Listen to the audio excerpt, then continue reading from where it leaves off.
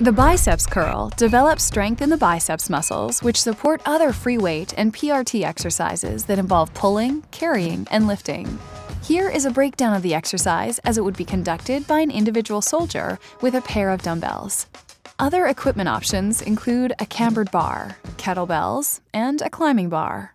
To isolate the biceps on the climbing bar during the pull-up, switch to a closed supinated grip. The starting position for the biceps curl is the straddle stance, with arms straight at the side and a dumbbell in each hand using a neutral grip. If a barbell is used, it is held on the front of the hips or thighs using a supinated grip at shoulder width. From the starting position, raise the weight up toward the chest by flexing the elbows. The forearm will rotate during the up movement. After a brief pause, reverse the movement to lower the weight back to the starting position. Always lift a weight that can be controlled throughout the range of motion. Repeat this movement for the correct number of repetitions and sets required to meet the goal of the free weight session.